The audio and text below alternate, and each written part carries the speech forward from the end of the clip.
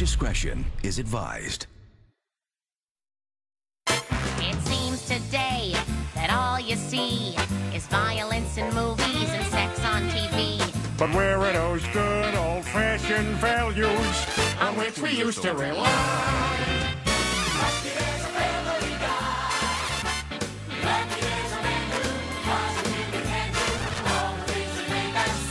And cry.